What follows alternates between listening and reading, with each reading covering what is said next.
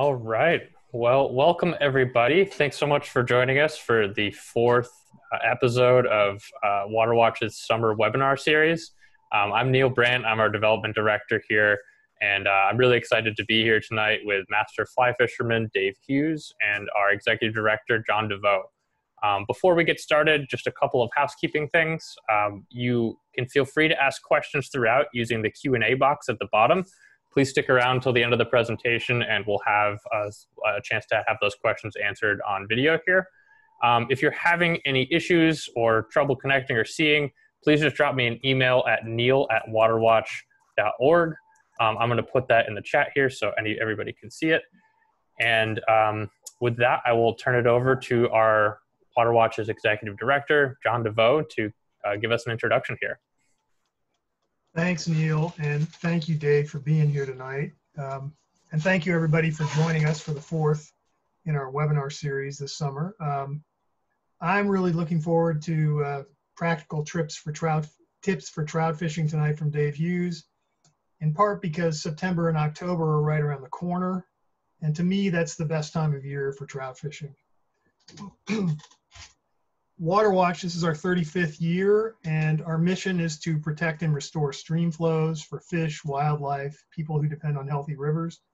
We also remove obsolete dams, and we secure balanced water policies that Oregon and the West need in a climate changed world. You know, all of this work we do is really directly or indirectly, almost all of it, in service of trout and their brethren. And so we, uh, we feel very close to the angling community and uh, we're, we're grateful for their support. Um, John Gierach in his book Sex, Death, and Fly Fishing has a short story titled Expertizing in it. And in that story, Gierach shares his discomfort and unease as with being called an expert on fly fishing, particularly by people he has never fished with, and particularly in front of his fishing buddies, who in other Gierach short stories needle John Gierach about his quote unquote expert status. I've never had the pleasure of fishing with Dave Hughes in person, though I do keep a copy of his pocket guide to Western Hatches in my truck. And I don't know if his fishing buddies will give him a hard time for our promotional emails for this webinar, identifying Dave as a true master of fly fishing and the craft of fly fishing. Maybe Rick Hafele will give him a hard time about it. I don't know. But it is true. Dave is in anyone's pantheon of fly fishing in the West, and we're lucky to have him here with us tonight. Dave is the author of more than 20 books about fly fishing for trout. They include, and I believe he has some of them behind him on the table there. You're uh, hidden by my name. Wet Flies, Handbook of Hatches, Reading Trout Water, Essential Trout Flies, and the classic Western Hatches with Rick Hafele the American Fly Tying Manual, Nymphs for Streams and Still Waters, Trout from Small Streams, and the book I love, The Pocket Guide to Western Hatches. Uh, Dave is also the author of the massive reference book, Trout Flies. His writing isn't limited to books. He's also had many articles appear in Field and Stream, Outdoor Life, Sports Afield, Gray Sporting Journal, Fly Fisherman, Fly Rod and Reel, Northwest Fly Fishing, and Fly Tyer magazines. He served as an editor of Fly Fishing and Tying Journal for eight years, and he's currently a columnist for American Angler. Dave was born in Astoria, Oregon on the 4th of July in 1945. He worked his way through college uh, at jobs specializing in the three Ds dirty, difficult, and dangerous. He graduated from the University of Oregon in 1967 and from infantry uh, officer candidate school in the Army in 1968. Dave served one and a half years in Vietnam, six months as a communications site commander in the Mekong Delta, and one year as a liaison officer to the commanding general of communications in the Southeast Asia Theater. Dave's uh, conservation credentials are, are high class. He was a founding president of Oregon Trout in 1983, and he's uh, been awarded many conservation, literary, and other uh, awards from various fly organizations around the West and the nation. Um, he's a life member of his home club, the Rainland Flycasters in Astoria, Oregon. He's an accomplished amateur aquatic entomologist. His hobbies include collecting, identifying, and photographing the aquatic insects that are fed upon by trout, as well as tying and fishing the flies that match those insects and fool the trout. Dave's a resident of Portland with his wife, Japanese fly fishing writer Masako Tani. Um, we're really honored to have you here tonight, Dave, and I'm going to turn it over to you and take it away. Well, if you called me a master, then I'm really in trouble with my friends. and I can see Hafele's already made a comment, which means that he's here tonight, which is probably a bad thing. But um, I always say that life is an experiment and we don't know if it works yet. And that might be a bad introduction, but just as an example, Zoom is an experiment. I don't know if it works yet. This is the first one I've done. And last night at 10 o'clock, my computer went out, and I spent two hours on the phone with um, Apple today getting my computer working again so that we could do this. So that's what I say if life is an experiment. We don't know if it works yet. Uh, we don't know if this works yet, but we'll get into it. And what I'm going to talk about are what I consider the 10 critical skills in fly fishing for trout. And when I say 10 critical skills, I mean the whole thing is all all tangled up. These skills overlap, but it's useful to separate them out for pondering and practice. That's what I'm going to do. I'm going to address them in reverse order. I'm going to put the least critical first and the most critical last, uh, partly so that you have to wonder what I think is the most important one. But there's one that overrides all of the rest. So there's one skill that you need to know in trout fishing that's more important than any other, and that's whining. And if you don't have whining down as one of your skills, you're really shorting yourself. If you fish with guys like Rick Hafele and Jim Schollmeyer, Ted Leeson, Richard Bunse, our illustrator, they're all better than I am by far. And they've always got the right flies and they're always catching fish. And what I learned a long time ago is if you sidle up next to them and whine, they'll give you the right flies to go away. So you want to be able to whine to go get the right flies. And there's one thing that stands out in this skill is that you need to ask for two flies because if they just give you one, you're going to lose it. You go back to whine them out of another one, it's not going to work. They're just going to tell you to go away and they're not going to give you a fly. So the most important skill in fly fishing for trout is whining and that's the one you need to work on the most. And, and I really recommend you work on it with Rick Hafele if you, if you know Rick, if you meet him. Just don't introduce yourself or anything else. Just start whining. That's the best way to handle Rick. Um, so skill number 10, as I go through these backwards, I'm going to call etiquette. Uh, etiquette is the golden rule. Do unto others as you'd have Rick do unto you. Um, but do it at a greater distance when it's related to fly fishing. And when I say a greater distance, a cast or two, if you're on the Henry's Fork of the Snake and everybody's gathered around and they're fishing over, each person has a little individual pot of fish. And you can work on those and you can be a cast or two from the other person that's working on his or her pot of fish. And that's enough distance, but it's not enough distance everywhere. If you're on the Deschutes, um, maybe you need 100 or 200 yards. If somebody's in well, one of the famous riffles on the Deschutes is a boat there. There's two or three fishermen in it. You don't pull into that riffle. You wait upstream until they're gone, and then you pull into it, and then it's yours for the duration of the time that you want to fish it. But you got to give them, in that case, 100 or 200 yards. Maybe on some streams, a mile. Um, when I grew up, I grew up in Astoria down on the coast, um, and we went fishing these little streams. And if somebody had fished that stream, we could see their wet footprints on the rocks ahead of us. We just went and found another stream. We didn't fish that stream. So give the appropriate distance to people when you're fly fishing. Uh, calculate their direction of travel. If they're moving upstream, you don't want to get ahead of them.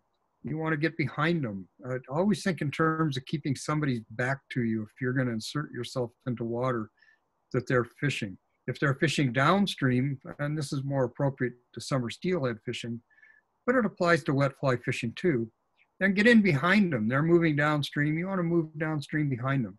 I guess the way to think about this is always be in a position that if you hook a fish, they don't know you did it because you're going to be hooking fish behind them if you're better than they are. And um, they won't know it. So if, if, they're going in one direction, you stay behind them and don't get too close. Uh, keep moving. Don't get rooted in good water. If you're in a really good spot, and there's a whole bunch of people waiting to get into it. Well, keep moving through it. Don't stand in one spot. And again, that applies more to summer steelhead than it does to trout fishing, but, but keep moving.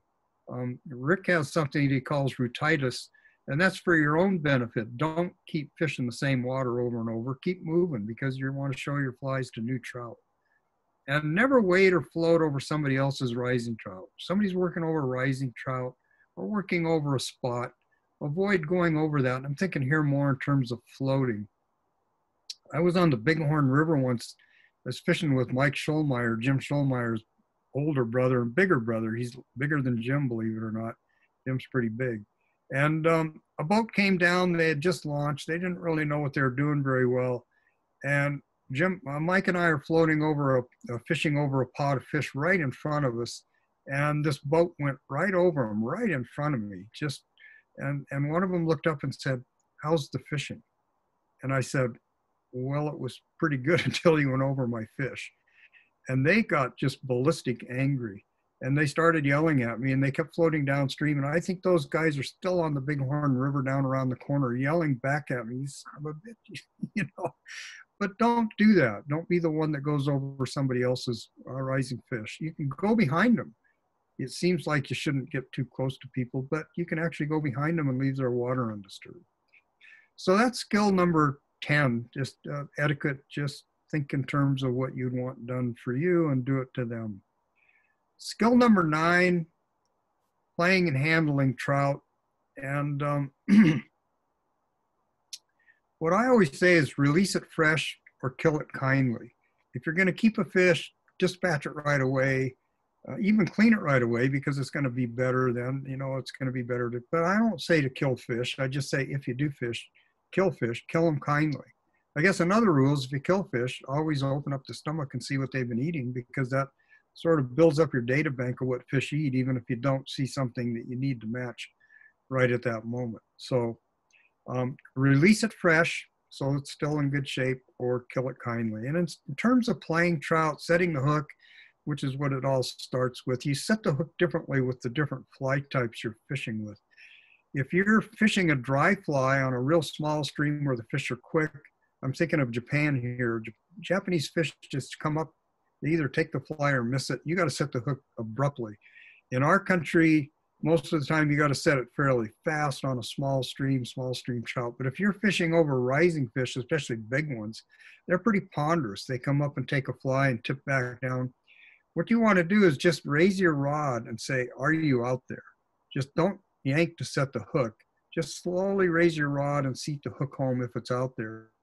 The reason you do this is because if you set the hook abruptly and it's not out there, it's not hooked, you rip the fly out of there and you scare the fish and you can't uh, come back and fish for it. So if you're fishing nymphs, most of the time you'll be fishing with indicators or in the Euro nymphing with the sighter. You want to set the hook really quickly because by the time you see the indicator move or the sighter move, things are almost over out there and you want to set the hook pretty quickly. You want to move that indicator and you also got to move the flies to get the hook set. And one way to do that is to set the hook sideways. Tur turn your rod over and, and move it sideways because that moves the maximum amount of line and is most likely to move that indicator and that fly, which seats the hook home. If you're fishing wet flies down on the swing as you do for summer steelhead, do the same thing you do for summer steelhead. Just if you feel a fish, just wait until you feel the weight of the fish, and then you set the hook slowly. Um, there's two reasons for that. Number one, if the fish is playing with the fly out there and hasn't got it in its mouth yet, then you set the hook abruptly, you pull it away. Number two, if it's, if it's got the hook in its mouth and it's a big one, you break it off. So my assumption here is that you'd like to catch big fish. And if you'd like to catch the big ones, then set the hook slowly with wet flies because otherwise you break them off. If you're streamer fishing, on the other hand, you've usually got a fairly stout leader and you've got to move that hook into their mouth. So you try to break their necks. And that's where uh, George Daniel just wrote a book called Strip Set. And what he's talking about there is you, you feel a strike on a streamer, you strip set, you move the thing as fast and abruptly as you can, set the hook. I don't do much strip setting, but I do set the hook pretty abruptly with streamers. So each different kind of fly, again, you set the hook differently. Uh, playing trout, the main rule here is not really I'm not even trying to give you an advantage over the trout. I'm just saying how you get it over quick because you don't want the trout to fight too long. They build up lactic acid. They can die later. You want to get it over with, get them caught, get them released. So the way you do that is you give them the butt. You give them whatever your rod's got, give them the butt, especially if it's a big fish. And then number two, you make it fight the butt. But number two, you keep it off balance. Uh, if the fish starts to stay in one spot, tip your rod over one way and then the other way and stuff. Keep that fish moving off balance. When you tip the rod over, it'll usually go moving. So um, get them moving, get it over quick. Don't let lactic acid build up. And never rest the fish against the rod. And Rick and I, I think Rick might have been there, but we have a friend in Chile, hooked about a 12 pound brown in a big, fast moving river and he played that fish for about 20 minutes, a half an hour. But all he really did was he played it downstream from him and he just gave it the butt and he was brutal to the fish. But the truth is, he was just letting the fish sleep down there on the end of his line. It never had to move. He never moved it. He didn't tip his rod over one way or the other. So after he played it for long enough, he thought it was tired out and he took it into the shallows and tried to land it. And there was just this explosion. And I lived on the Mekong River for a few months in, in Vietnam. And these big lily pad rafts would come floating down from Cambodia. And the guards, they were ARVN guards, Vietnamese guards, used to just lob hand grenades into those in case there were VC in them. And there'd be this great big explosion every once in a while while I'm trying to sleep. But that's exactly what happened to our friend in Chile. He tried to land this huge trout. It had been resting on, on his line down there and when he tried to land it, there was just this monstrous explosion, and the fish blew out of there and got away with his flies. So um, don't rest your fish. Uh, give them the butt, tip them off balance, get it over quick, and release them as soon as you can. When you're landing trout, whether you use a net or you don't use a net, keep them in the water. I typically don't use a net. I've landed a lot of fish. I still fumble, but I fumble with a net just as bad. But when you get the fish, restrain it by the tail, the wrist of the tail, and just cup it belly with your hand. Don't squeeze, just cup it. And then keep it in the water. If you want to take a picture, just hoist it out a few inches and it should be dripping when you take a picture. And if you've got small hands, don't squeeze the fish. I have lots of pictures of my favorite wife and she's got tiny hands and she squeezes fish. I guess I should mention that the reason I married my wife is because she's really small and in a picture she makes fish look big. So I, I married her for that because I was a writer and I wanted pictures of big fish. And that was the easiest way to get them. So that's playing and handling trout. Get it over, get them back in the water, release them when they're ready to swim out of your hand. They'll tell you, they'll swim away, and they're ready to go. Skill number eight is tackle and rigging. And um, when I think of tackle and rigging, I, I, I used to be a hunter. I still am a hunter in theory. I'm not anymore because um, things got too heavy to carry. But that's that's an aside. But think in terms of rods like rifles. People used to go on an African safari. They'd take a light, a medium, and a heavy. And think of this especially when you're buying rods because it can save you a lot of money on purchasing rods. Because you don't want to go out and buy six light rods and not have a medium or a heavy. You want to have a light, and your light is a delicate rod for casting dry flies and emergers and etc. over rising trout, feeding trout, whatever. It's your kind of rod that you use for delicate situations. It's an eight and a half to nine foot, three to four weight. And um, what you don't want to do is, and I've done this, I, I used to have about six of these and I didn't have anything stronger and it used to cause me a lot of trouble and I'll tell you in a minute. But um, so that's your light rod. You want to have a light rod. To me, that's my main rod. I use my light rod more than any other because I'm fishing in that manner more than any other way. Uh, your medium rod is kind of what I call an exploring rod. It's a steelhead rod, summer steelhead. It's a it's a nymph rod it's for lakes. It's a casting tool. Your your medium rod should be a really good casting tool. It suits you in terms of whether it's fast. I use a fast one. My wife uses a medium one. It just depends on your casting stroke. But you want your medium to be a, a five at the smallest. I use a six. And um, it's a real casting tool, and I use it a lot. I just got off the John Day River fishing for uh, smallmouth bass. That's what I use for that because the flies are pretty big. And it should have a lot of punch. That's for distance casting. You want that rod to be able to cover some ground. So that's your medium Uh, your heavy is is not used that much in trout fishing. It's used a little bit for um, nymph fishing and it's used for streamer fishing, but it's more for pike, light salt water, and that sort of thing. And this rod should be a beast. You really want a beast for your for your heavy. If you get a heavy at all, you might not even want to get a heavy. But mine's an eight foot. I'm sorry, mine's a nine foot eight weight, and um, it is a real beast. And I used it not long ago on the White River down in um, Arkansas, fishing streamers, big heavy streamers, and it was very good for that. But I don't use that much in in um, trout fishing. But think in terms of getting a light, a medium, and a heavy, and you'll reduce your expenses, believe it or not, by doing this. And specialty rods, I use a lot of small stream rods because I love small streams. I probably got 10 or 12 seven foot four weights, three or four of them are bamboo. And I go overboard on those. And some used to just kind of drift my way because people knew I loved them. And they love me, I think. I don't know. That might be taking it too far. anyway, I've got a lot of small stream rods and some really, really good ones. And I use those quite a bit. And they should be seven foot four weights. They should be kind of brisk. A small stream rod, I don't believe in using one and two weights because they're too soft. And I want to make a brisk cast. I'm fishing brushy streams. I want a tight loop and I want to get my fly right where I want it. So I don't use soft rods. Uh, people always say if you're fishing a small stream, use a one or two weight. That's fine if it's an open small stream, but I grew up in Astoria. There's no such thing as an open small stream around Astoria. So, and in a lot of Oregon, that's true.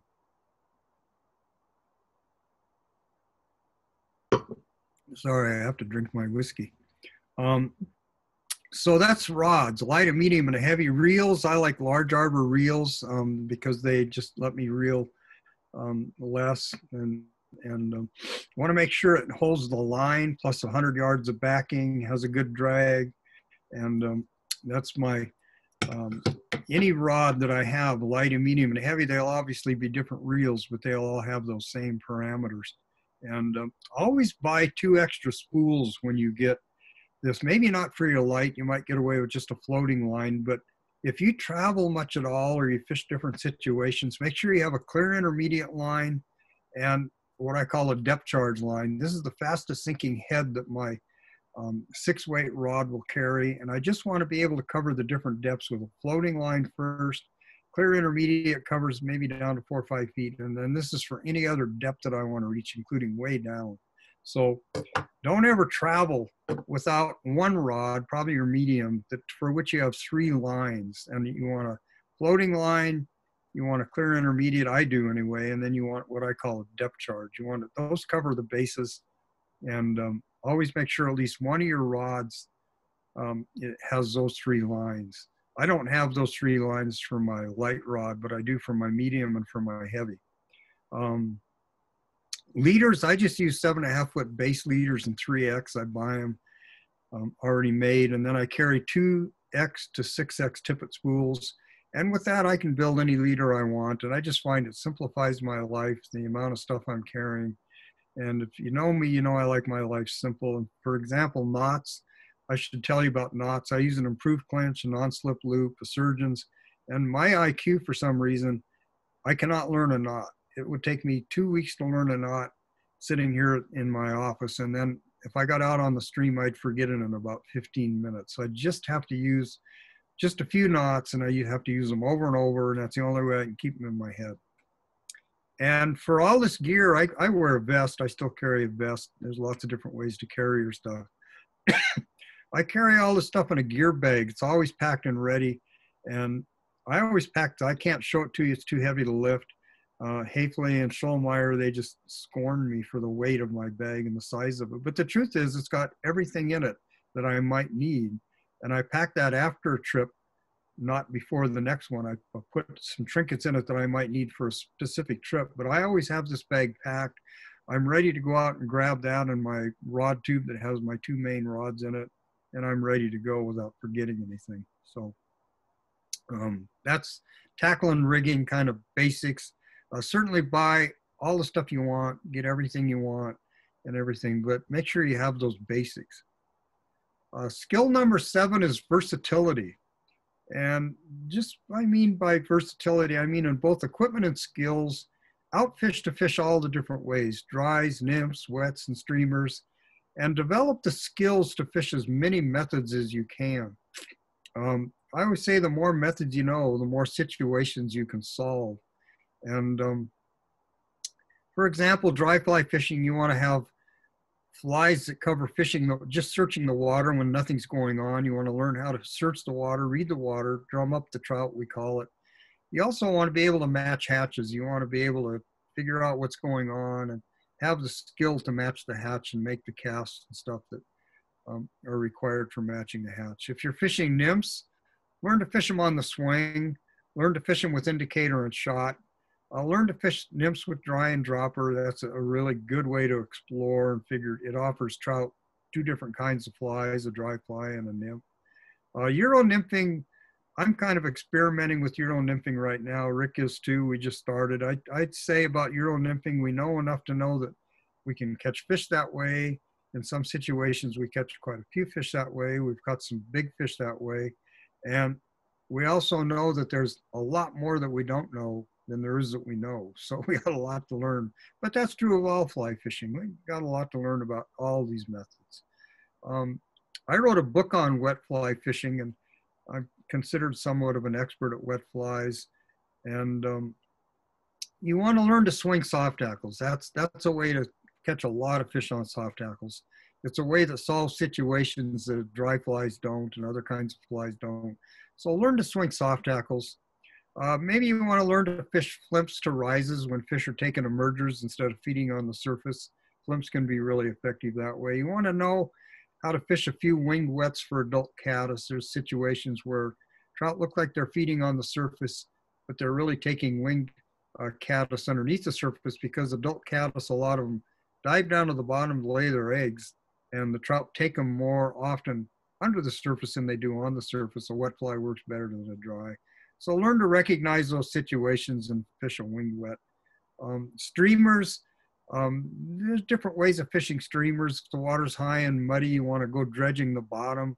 Um, I love to go banging the banks, like on the Bighorn, Big Hole River in Montana. I like to bang the banks there. Uh, I can imagine on the Deschutes River if you could do this. If you could fish out of the boat, it'd be devastating for a while. Uh, obviously, we can't do it there, but I like banging the banks even when I'm waiting and I like picking the pockets as I'm uh, fishing streamers. So I've come more and more lately. I've been fishing streamers, and one reason is they catch fairly good sized fish. So um, I don't fish them a lot, but I'm prepared to fish them. So again, the more methods you know, the more situations you can solve, the more trout you'll catch. So just an example here, I was fishing with two guides. Um, another thing I should point out, I did a book called Trout Rigs and Methods that um, has every different way of rigging and fishing that I could think of. So I was fishing with a couple of guides on the Green River on their day off in, in uh, Utah. And um, they just insisted on fishing the bottom with great big nymphs and they weren't really doing very well and they were having a really bad day. They were pretty grumpy. And I had a bamboo rod with me. I had a rod that wasn't very suitable for what they're doing. And I just sat in the boat, watched them a lot, tried to do a little bit, and didn't want to break my rod. They were using two great big BB shot. It was so pretty dramatic. We got to a riffle. I jumped out tied on a soft hackle. I, I swung this soft hackle. It was a partridge in yellow. It was about a size 10, big one. And I had four fish in about five minutes or 10 minutes. And well, it was just a devastating method. I wish we could have done it all day, number one. And number two, the guides watched me catch those four fish. One was a four pounder, and they yelled, "Hey, Dave, we got to get out of here. We're late to the ramp." And you know why they were doing? They just didn't want to see me fishing soft hackles. It was so simple and so much fun. So again, learn the different methods and learn which method will solve the situation. And you'll not only catch more fish, you'll have more fun, which is fairly important. So, so skill number six is observation. And your observations when you're out there inform you which method will work best. You want to observe the conditions in the air. You know, what's the season? Is it winter, spring, summer, or fall? Is it cold, cool, average for the season? Is it warm or hot? Is it snowing, raining, blistering sun? And what I'm saying here, you don't stand there and look out in the distance and say, oh, it's winter. My golly, it's cold. I'm shivering. um, you just make sure that you're aware of these observations. You don't have to really make them as such. You know what is you know whether it's winter when you get leave the house, but uh, make sure you're aware of it because you're going to want to adjust what you're doing based on the conditions that you see. And again, observe the conditions of the water. Is it high and low? Is it clear and muddy? Is it warm and cold? Warm or cold? Because you're going to do something different based on that. If, if it's winter and the water's high, you're going to fish a nymph or maybe a streamer. If it's low and warm and insects are active, you're going to probably fish a dry fly. So observe the conditions of the air and the, and the season, observe conditions of the water, and observe the insects, you know, and, and I always carry these little Nikon binoculars. Uh, they do two things. Number one, you can see the insects. Sometimes you'll see insects and you'll think you're fishing over a hatch of size 12, let's say March Browns. And then you look through your binoculars, you can't catch a fish. You look through your binoculars and you see, wow, there's a whole fleet of little size 16, even 18 or 20 blue wing olives mixed in that. And well, the trout seem to prefer the blue wing olives. So with your binoculars, suddenly you're saying, wow, I need to change flies. So the other thing you can do is you can look downstream and if Hafele's catching fish, you can spy on him and see what he's doing. He won't tell you. So you spy on him and see what he's doing and see what he's using and you can use your binoculars that way. So they're very handy to have little binoculars with you.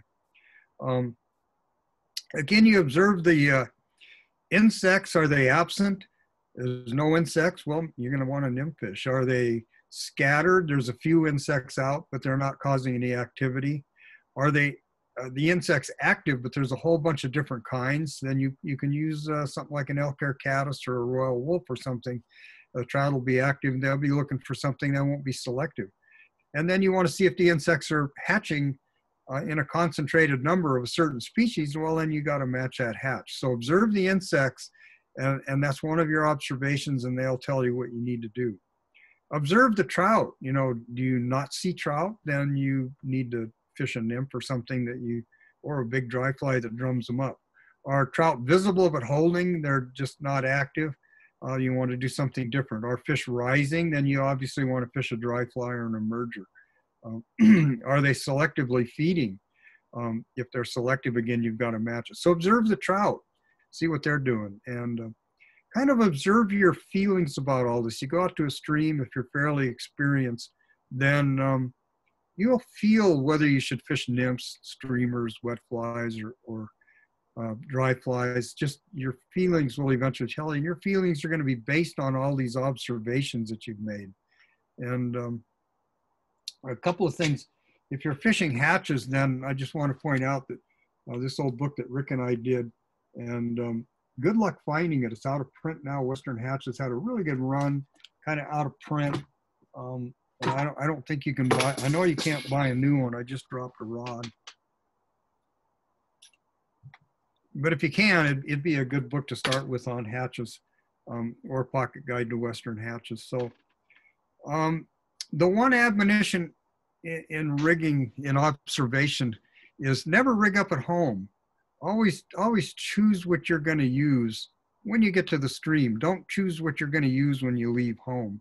Um, choose what you're going to leave after you've made your observations not before. Uh, just an example my dad my wonderful old dad loved to fly fish the small streams around astoria and he always said um, fishing is best when the sun is on the water and he would only go fishing if the sun was on the water he wouldn't go fishing if it's misting or raining or anything like that what turned out to be far from true, especially if you fish hatches. Um, the opposite is more often true. The fishing is best when the sun is not on the water. So um, observation is very important, and it's very important not to stay home from going fishing just because the sun's not shining. Um, I used to live in Astoria.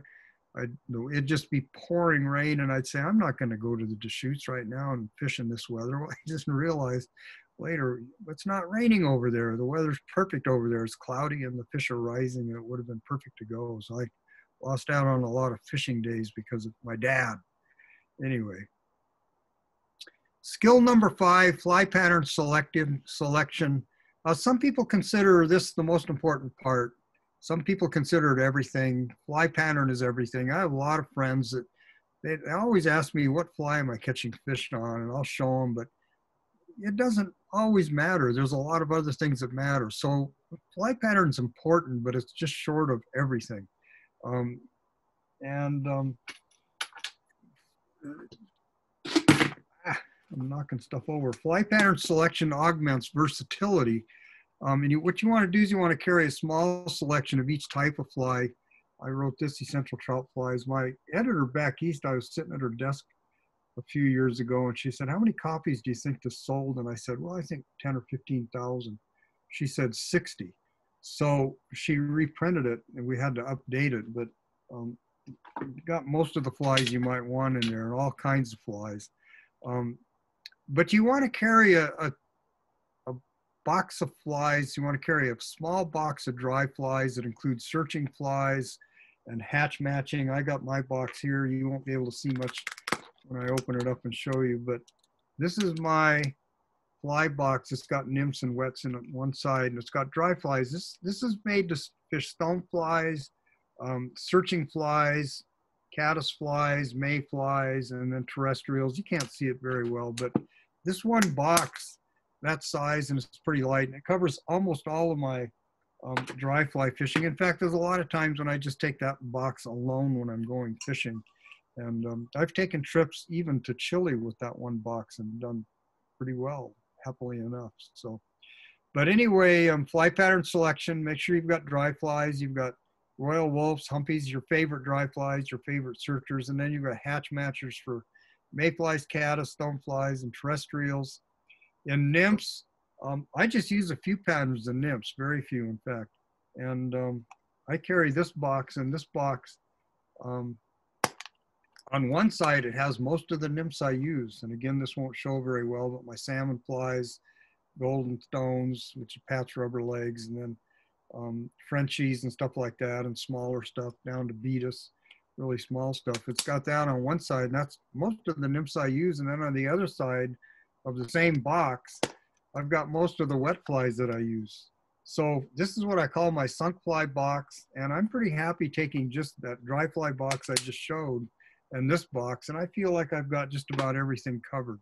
So just a few flies at the core, at the basics, and um, that's what you need. Again, I carry the few wets, a few mostly soft hackles, a few flymphs, a few wing wets, and I carry streamers to cover three depths. The first are unweighted, the muddler, etc.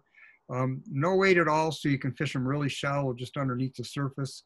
Um, I use moderately weighted streamers to bang the banks and stuff like that. These usually be woolly buggers and stuff like that with tungsten bead heads, a little bit of weight. And then I use heavy ones, and these are usually clousers with the big lead eyes, and I want those to fish deep. So when you think in terms of streamers, don't think in terms of 30 patterns. Think of maybe three patterns that cover three different depths. Um, just shallow, unweighted, um, moderately weighted, and then heavily weighted, and then your streamers will serve you a lot better, and you don't need to carry a lot of them, which I don't. I use very few streamers. In still waters, if you fish still waters, you want to have a separate stillwater fly box, and I'm actually just tying this one. Uh, it was going to be my winter's project, but I didn't get it done. But um, I just wanted to match all the different flies that I fish on still waters, surface and sunk, and then streamers and stuff like that over here. I haven't got it done, but uh, you want to carry a separate fly box for still waters because the food forms in still waters are different than they are in streams. So if you fish still waters a lot, you want to be going out there with a different fly box than you carry on the streams. So think in terms of that. Midges, damsels, leeches, scuds, Callibaetis, um, a little bit different set of flies. So and just to kind of confess here that I carry this boat bag, and this is full of fly boxes, and I can just barely lift it. And I promise you, it never gets out of the boat or the rig, but it's got a lot of different boxes in there. So I've been condensing my fly boxes, what I call minimalisting, but I still have a ton of ton of fly boxes in that thing. I should give it away or donate it or sell it or something, but it goes everywhere I go. It's got sunscreen, hand glove, uh, sun gloves, and all kinds of other stuff too. But anyway, that's my boat bag. So that's fly pattern selection. Keep it minimalist, but make sure it covers all the different kinds of flies um, situations. Skill number four is presentation. And this could be the center of the whole program. It probably is the center of everything. Presentation is showing your fly to fish as if it's alive and looks good to eat. And every other skill that I've talked about and will talk about wraps into this as a part of it. And always remember that position is the most important part of presentation. Um, you get into the right position, you get conflicting currents behind you as much as you can, not between you and the fish. You do everything you can to get a good position to make your presentation from, and that's the most important part of presentation. Wade close and cast short. This achieves maximum control of your drift, your float, whatever you're doing, your swing, your retrieve. The shorter you cast, the more control you have, the more likely you're to catch fish. Um, presentation is control and most of control is mending line. You know what mending line is. You get a belly in your line, the line picks up the current and starts to drag your fly and you just want to flip out. If the current's going this way, you want to flip upstream so that the belly goes in the different direction and has to go out and you get a drag-free drift again. Um, never forget that if you're fishing slow currents, you want to make a downstream mend and that installs a belly in your line and the current picks that up and animates your fly and you get a better presentation. So mending can go both ways, upstream or down. Feeding line is always downstream and it's to extend the drift of a dry fly or maybe a nymph downstream fished on an indicator uh, into water you can't reach. And if you think about the Deschutes River and you think about that alder tree hanging over a great big fish right along the bank, uh, most people fish it from downstream and try to poke a fly up under there and they catch the tree. But quite often you can get above the fish and make your cast above the fish and then feed line so that it, the fly goes down to the fish without drag. And that, that can be more effective on the Deschutes, which some of you probably fish. I hope so. Um, so feeding line, again, you can extend a dry fly float. You can extend a nymph drift. Um, when the indicator or, or the dry fly passes your position and you want to extend the drift, just turn a strip line off your reel and then wobble your rod so that the line lands right underneath the rod and S curves. And then as that feeds out, the current goes out and takes that and you'll get a drag-free drift. quite a ways that you can actually make a drag-free drift downstream a lot farther than you can ever set the hook when you get a strike. So don't do it too far. And um, so that's skill number four, presentation. It's probably the core of the whole thing, and I don't cover it as much as I would because it's a part of all this other stuff. For example, the skill number three is casting, and obviously casting is part of presentation. And I always say, I paid very little attention to casting myself, and many people pay most attention to it, and that's not a bad idea. Practice if you can. And I always say, don't try to extend your distance when you're casting, try to extend your grace. And what I mean by that is learn to cast gracefully at a certain distance and then learn to cast longer by extending that grace instead of just struggling to cast farther. So, and my focus on trout fishing is to focus on casts that catch trout, I call it. Um, casts that catch trout are most often short, maximum control. I used to follow Lefty Kreh at a, at a sportsman show. He's casting on the pond before I was, and he'd cast 120 feet off the end of the pond and everything. And I'd get up just after Lefty, and I loved Lefty, don't get me wrong, but I'd say, well, now that Lefty scared all the fish down to this end of the pond, I'll show you how to catch them. And what I meant by that is that most of your casts that catch trout are pretty short.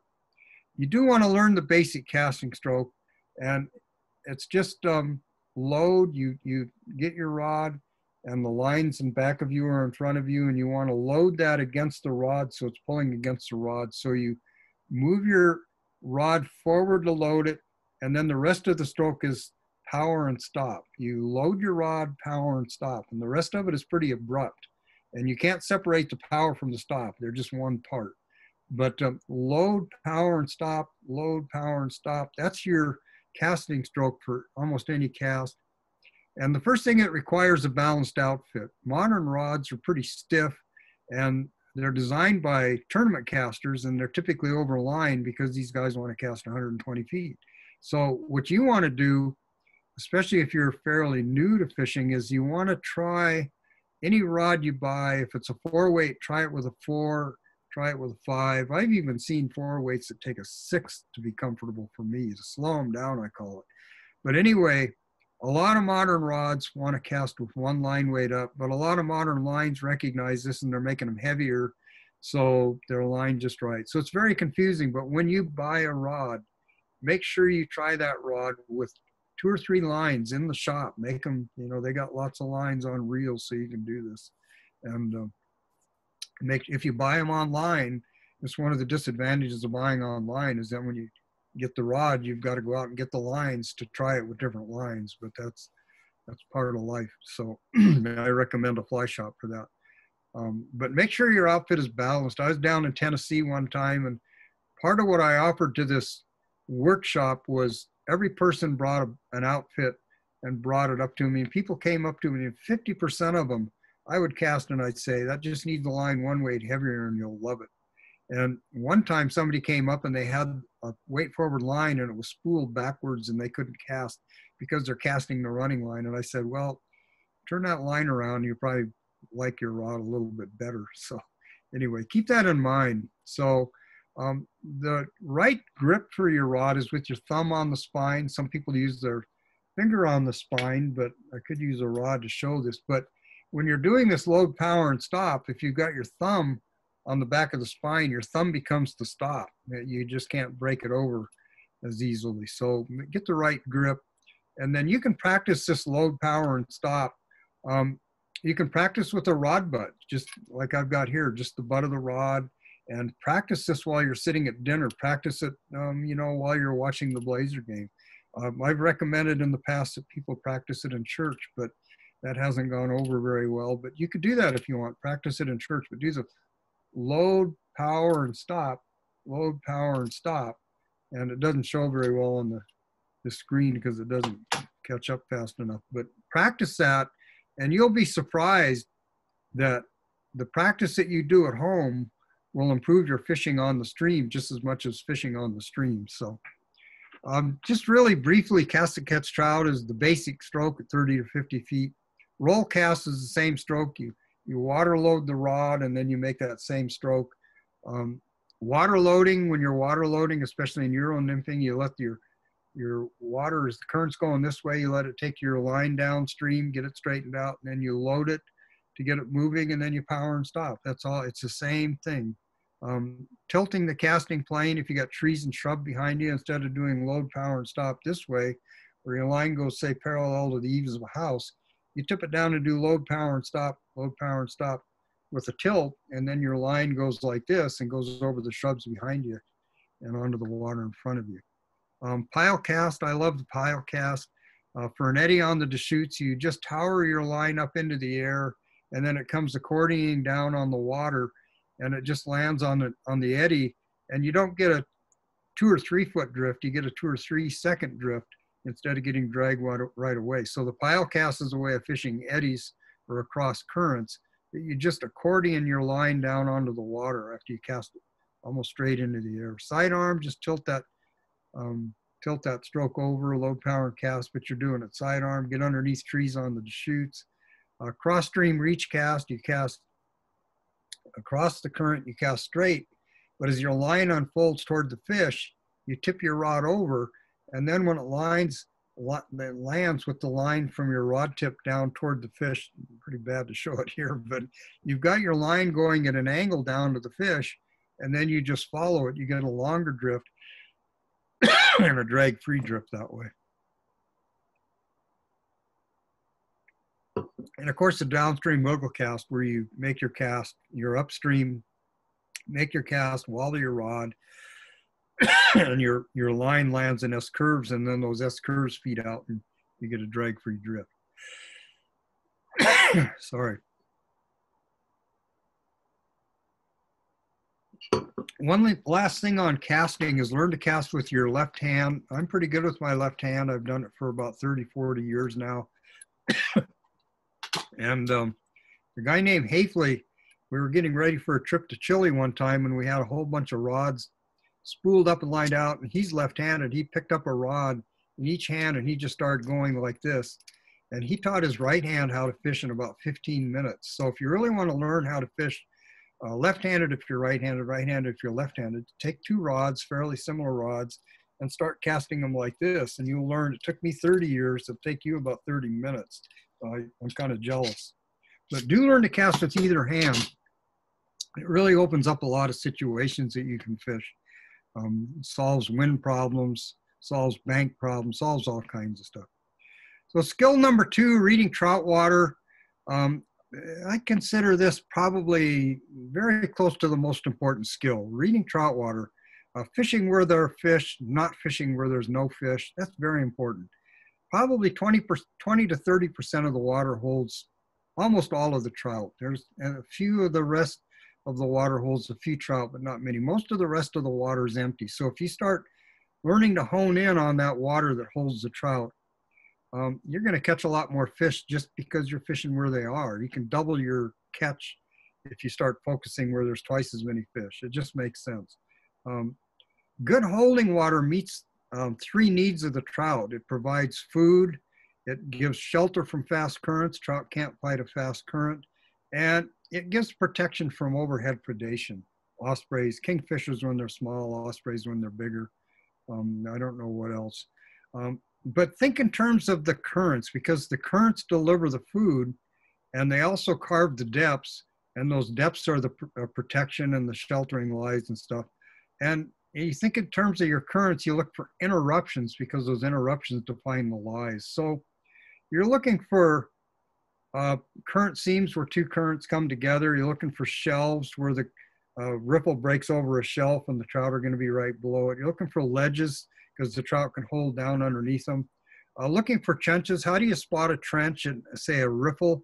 If you see a ripple, it's got a, a rippled surface and then you see a slick in that surface, there's a trench underneath it, the bottom drops away and the surface smooths out. So you see that slick on the surface and a ripple, you want to fish right down it because that's a trench underneath there and fish line up in the trench. Um, you want to fish the deepest lines uh, because those give trout the most overhead protection. So the deepest lines, especially in a small or medium stream, will hold the trout.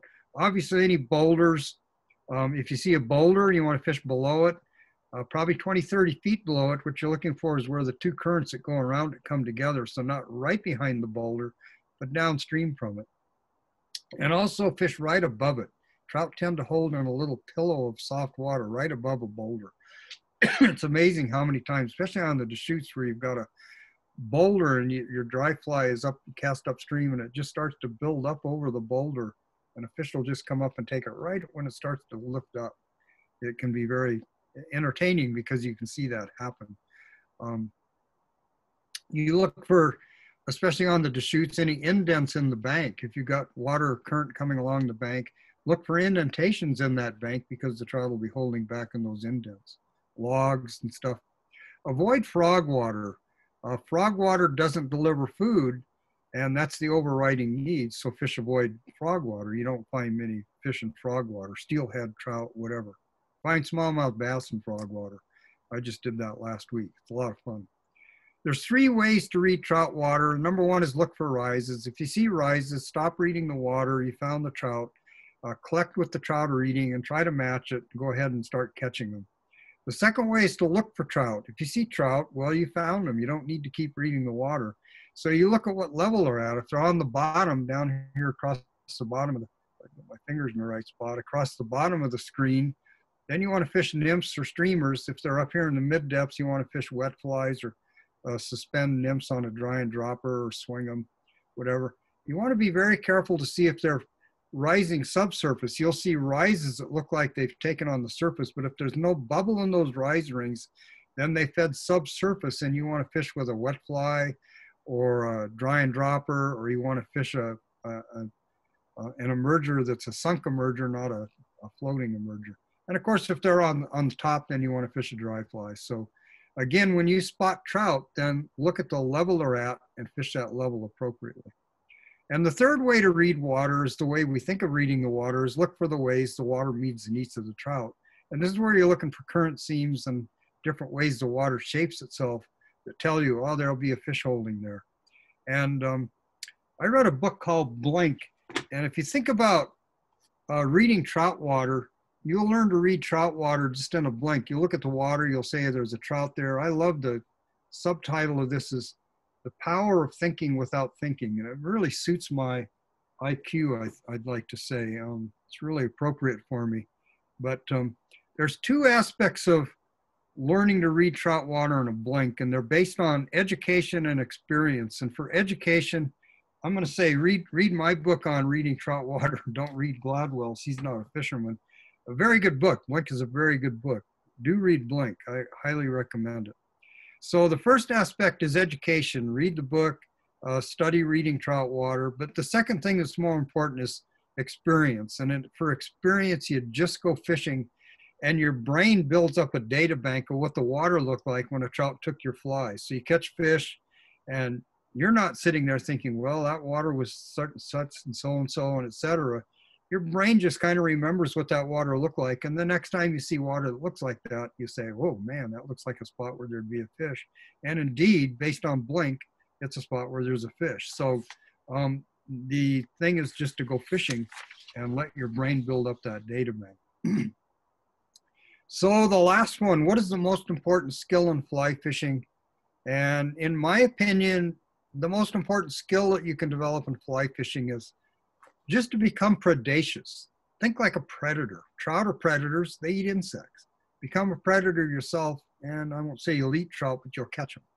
Um, you simply go to the water, the stream, river, lake, pond, whatever it is, and you just desire to catch trout. You know you're going to do it. And this reflects in your attitude, and it doesn't necessarily reflect in aggression. You don't need to become aggressive, although that might not hurt, but I'm not aggressive, not very often. But it does reflect in your intent. You intend to catch the fish. You're really interested. So you start observing more, and um, it, you're no longer, you can be casual, but you're kind of a focused casual. You're observing and seeing what's going on. You're a predator now. And it also reflects in your posture. You're no longer just laid back. I had a nephew that I fished with in Montana, uh, my brother's son. He's real tall and lanky. And he used to fish leaning back. And I used to think, I, I got to run back behind him and catch him before he falls over. He'd be fishing like this. And he couldn't catch fish to, to, for anything. And he became a pretty good fisherman. And as he became a good fisherman, pretty soon his posture is leaning forward. And you know how you fish over a rising trout all day and your back aches? That's because you're a predator and you're thinking of catching those fish and you're intent on it. You're leaning forward. And it just reflects everything you're doing in your posture and in your thinking and everything else. And those observations of the trout and the conditions and your reactions to them. So think like a predator, you'll become a predator. You'll catch a lot more fish. Um, and you use your own senses, mostly your sight. Um, you can see fish, you can see what they're doing, you can see what the insects are doing, you can, all of these things. And that's most of what you're using when you're a predator on trout. You sometimes you can hear rises on the Deschutes. You hear a rise back under a tree and say, wow, that's a big one back there. I wish I could get a fly in there. Um, use your sense of feel, feel the water temperature or whatever. But more important than that, you want to honor the senses of the trout. The trout have their senses just like we do, and you have to honor those to catch them. And by that I mean keep out of their sight, um, stay back a little bit, wade close, but stay out of their sight, crouch, whatever you need to do. Don't wave your rod around right over their heads. You know, keep your rod off to the side and make your presentation over them, but keep your rod from waving over the fish. Don't shuffle in the rocks and bang the rocks together. Don't bang the boat if you're in a boat. Um, keep the noise down. You can wade right up onto trout if you don't shuffle the rocks and don't make a lot of noise. Um, you can shout. The um, you can even shoot a gun in the air. Somebody did a uh, an experiment. Alfred Ronalds did an experiment where he fired off a shotgun right next to a fish that he could see, and the fish didn't move. And the reason for that is that um, sound waves in the air don't transfer into sound waves in the water. So you can make all the noise you want. You know, if somebody says, shut up, you're scaring the trout, tell them that's not true. You might want to shut up. it's not because you're scaring the trout. And just one final recommendation because a lot of you fish the Deschutes like I do. I got into an eddy on the Deschutes one time where the trout were just rising all the way down the eddy and I had just put sunscreen on and I got upstream of these trout because I knew I need to fish down to them. That's part of presentation. fishing downstream to really select your trout is better than fishing upstream to them because your line goes over their heads. I should have covered that in presentation. It's pretty important. But anyway, I had just put on sunscreen. I got out of the boat and I slipped into this eddy in the up, upstream end of the eddy. And I started wading down toward these trout and casting, and they just blinked out as I got close to them. And I, I'd never caught a fish. And I finally realized that the scent of my sunscreen was maybe it was the scent of me. I probably hadn't taken a shower in a while. Anyway, the scent was going down, and as it reached those trout, they'd quit rising and move off. And it was just out of range if they did this. It was a very interesting situation where these fish were really tuned into keeping away from me. And it was because I was let my scent was going down and warning them I was coming. So aware of that. Um, you're not a grizzly bear. We know salmon are scared of grizzly bears and they can smell them. So anyway, so that's it. Become a predator, become predacious. Very important. Did you just change your thinking a little bit and, and, you'll focus in and you'll catch more trout. And I consider that the most important skill. And uh, conclusion, I've fished for way too long and um, I've caught a lot of fish, but I've also talked too long here. So um, just remember that these skills that I've talked about are all mixed together. I've separated them out. I've made 10 of them. There's probably 20 of them. Maybe there's four of them. I don't know. They're all mixed together. They all become one thing. And they become the skills of a predator who strangely goes out there fishing mostly for fun. So what kind of predators are we? We're not um, not very successful ones in some ways because we're just catching fish for fun anyway, go fishing and have some fun. Take care of John, take care of Neil, take care of WaterWatch so that we can continue to have these places to go fishing. And um, I've concluded. Thank you. I think. Fantastic. Who's in charge here? Who's in charge? I think you are. Thanks so much, Dave. Um, uh, great presentation. Uh, we've got a couple questions for you here. If you want to keep your video on for just a minute. Um, uh, I had a couple folks email me actually earlier in the day asking questions, so I'll start with them, and then I think I see a couple others in the Q and A in the chat here. Um, so uh, the first question is from Dave Hollenbach, and he asks, uh, he says that he's new to fly fishing and he struggles with what types of setups he should be using. So he asked if you have an easy way of determining if you should use a dry fly versus a nymph versus a streamer. Well, that's a tough one. You know, I, I don't know what water you're fishing and uh, that would be critical to it. And I don't know when you're fishing, but um, I, I, think the critical thing here is to have a few dry flies, have a few nymphs, have a few wet flies, have a few streamers, and then fish according to what the situation demands. Um, obviously, if it's summer and it's warm and the fish are you see a rise once in a while, you want to fish dry flies. the one thing I'll say in, response to this is when you choose your tackle and when you choose your methods and when you choose this, find out what you like to do most. Figure out I, am a dry fly. Figure out I'm a dry fly fisherman, or I like to fish wet flies. You know, I, am personally a wet fly fisherman. I'll fish wet flies when I probably shouldn't. Um, Rick fishes nymphs when he probably might be able to fish dry flies. But figure out what you like to do best, and get the equipment that's perfect for what you like to do best, instead of getting um, equipment that's best for what somebody else likes to do or that averages things out or whatever. Get a set of equipment for what you like to do best and apply that. But again, I don't know the water you're fishing um, and I don't know the situation you're fishing in. So I would say that learning to fish with dry flies is the easiest. Um, swinging soft hackles is probably the second easiest. Nymph fishing is fairly technical and requires a set of skills that might be farther down the road. So um, maybe I'm going to say just based on that, dry fly fishing. How's that? Great. Oversimplifying. Thanks, yeah, fair enough.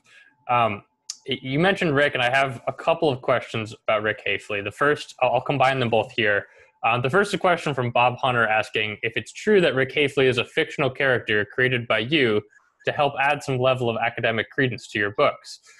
And then Ron Walp asks if you could please share how you got to know Rick Hafele and what that relationship has meant to you. Maybe I can combine my answers. um, am I showing on the screen here? Or my screen is blank.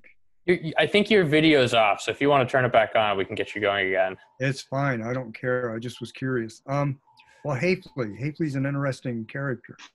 Um, when I first became a writer for the magazines, mostly at that time, books later, I mostly write books anymore. I mostly don't write anymore because there's not the markets are weren't. I don't have the the. Um, I know Hafele's listening too. I see that down here. Um, I know you're there, Ricky. Um, so I was becoming a writer, and I wanted to write about the insects. I Actually, um, audited a course in aquatic entomology at Oregon State, and but my, the magazines I was writing for kept saying, "You don't have any credibility, Dave. You, you know, you need to be an expert to write about the insects." So I made up an expert. I made up a person with a, a master's degree in aquatic entomology. I thought of this weird name, Rick Hafele, and I kept writing co-authored articles with his name on them. But of course, there's no Rick Hafele, so I'm cashing both checks. But um, as it went along, what happened was they started asking Rick Hafele to give talks at clubs. And I actually had to come up with a real Rick Hafele. So I went down to Skid Row here in Portland and I found a bum laying in the gutter and I kind of hoisted him up and I slapped him a few times and woke him up. and took him home and gave him a shower. And I said, Well, your name is Rick Hafele. You got a master's degree in aquatic entomology. And, and um, when people want a book signed, you just sign your name to the book and don't talk to them or anything. But the guy enjoyed this role so much he started going around to clubs pretending he was Rick Hafele. And I suspect that's Bob. Bob Hunter knows Rick pretty well now, but I suspect that Bob first met him when Rick had just come off the street. And um, in, in answer to the question of where I met Rick, um, I audited that course in aquatic entomology. I was down there studying healthcare administration at Oregon State. And I went to the professor, Norm Anderson, and I asked if I could audit his course in aquatic entomology. And the uh, Norm's assistant was Rick Hafele. And the way we became friends is I wanted to know about the insects, and I had a bamboo rod that Rick wanted to fish and um, we traded. And we went fishing together, and I let him fish my bamboo rod, and he showed me about the insects. And it spooled out from there, and we're still fishing together, which is quite a surprise. I don't think we really like each other. We just kind of hang out together. I still got the. I, I actually made a huge mistake. I had two bamboo rods when Rick graduated with his master's degree, and one of them was a Granger seven foot four weight and I gave that to Rick for his graduation. And only later did I find out that Granger only made a handful of seven foot four weights. They made very few of them. They're really valuable. And I've tried to get that rod back, but I've never had any luck. Uh, Rick won't part with it. So he still lets me fish it. But uh, anyway, that's how I met Rick. One, one way is I invented him. The other way is I met him in an aquatic entomology course.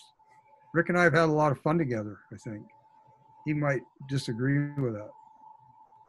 Well, so, fantastic. Thank thank you for the backstory there. Hi, Bob. By the way, Bob Hunter. Um, the next question I have for you is from Milt McConnell, and he's asking, and this may be a controversial question, but Dave, what are your favorite Oregon small streams to fish with your three weight? Well, it's a four weight. Number one. Number two, am I he hasn't read an angler's Astoria where I didn't name my small streams. And the Oregonian reviewed an angler's Astoria and they got to chapter three where I said, I don't name my streams. And they gave it this absolutely horrifying review. They said, What good is this book? It doesn't tell you where to go fishing. So um, I'm reluctant to name my small streams. I could, um, you know, one of them is Grassy Lake Creek. It's pretty much been logged to death. One of them is Young's River. I, I'll tell you um, instead of answering specifically, all of my small coastal streams had waterfalls that blocked anadromous fish.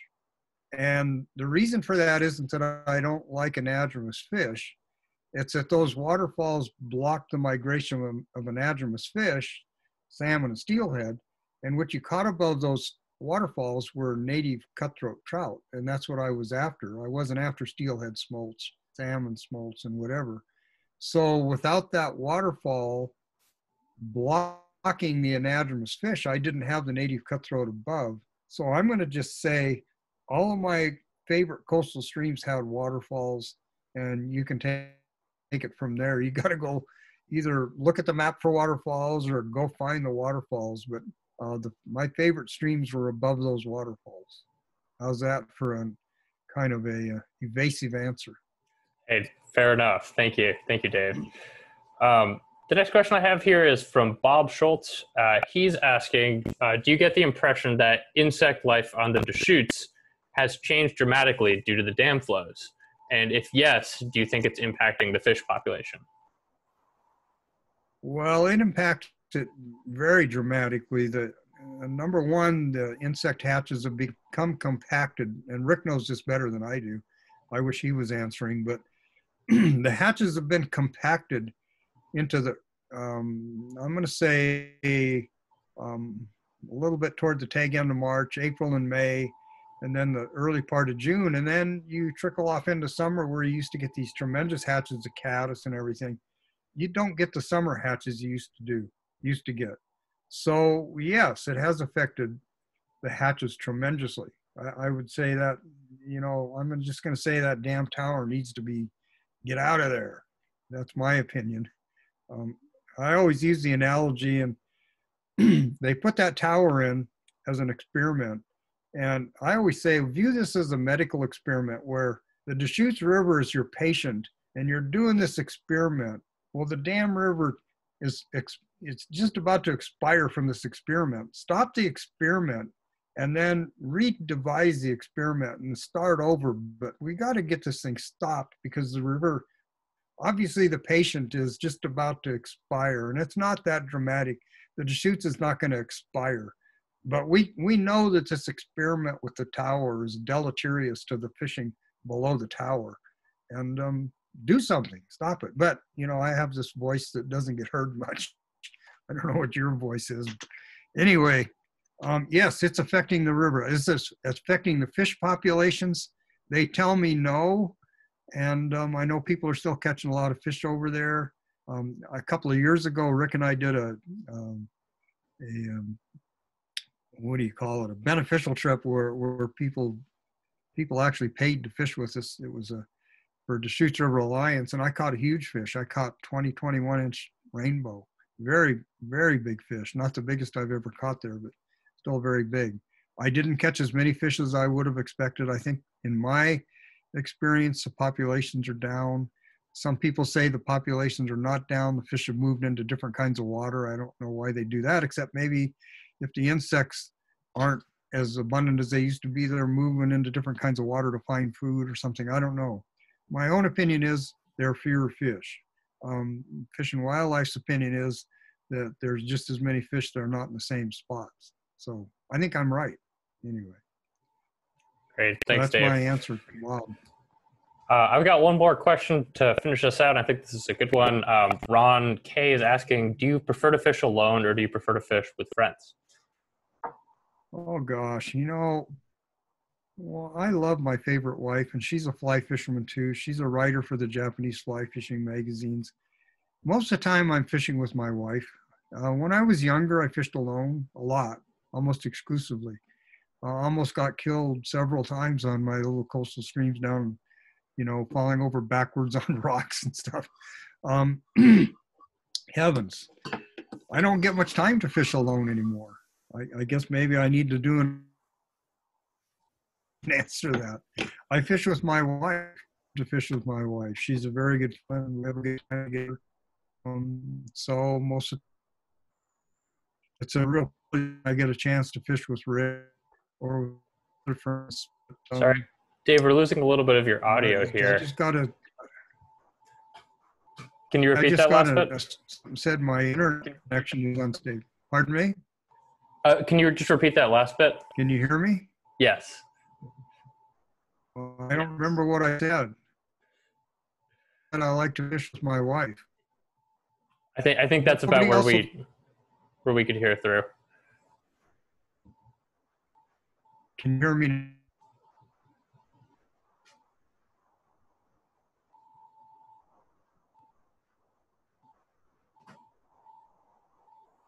Well, I think I think we're having connection issues with Dave. Um, in the meantime, I'm just going to share a slide um, while we wait for him to come back here.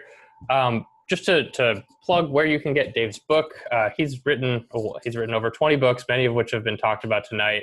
Um, he said the best place to find them is on Amazon if you search Dave Hughes. And here's a picture of uh, the book John referenced and Dave as well, Pocket Guide to Western Hatches. Um, also, for those, for everybody who's tuned in, if you've been enjoying this webinar series and you enjoyed tonight's presentation, um, please do consider supporting WaterWatch's work uh, by joining as a member or renewing a membership.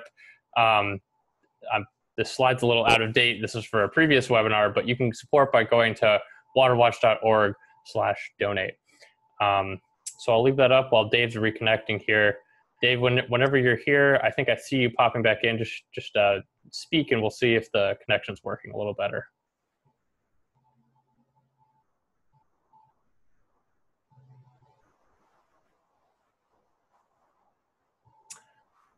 Well, I, I, think we might have lost him again here. Um, thanks everybody for tuning in. I think we'll wrap it up. Uh, if you do have follow-up questions for Dave, though, feel free to email them to me, neil at waterwatch.org, and I'll, I'll pass them along to him. Um, and hope everybody enjoyed the talk tonight. Oh, are you back? Am I back? I don't know if I'm back. Can you hear me? Yes, we can now. Sorry, I was, I was just wrapping it up, but um, yeah, if, if you'd like to, to just give your answer again to that question. Do you like to fish alone or or with others? Um, that'd be great because I think folks had trouble hearing. Well, the older I get, the more I fish with my wife. The more I fish with friends. Um, the ones that are still willing to fish with me, I've whined enough that uh, a lot of people won't fish with me anymore. I'm kidding. Um, I like fishing with other people. I like fishing with my wife. Um, she just opened the door to come in. She thinks I'm done. I think it's. I think I should say.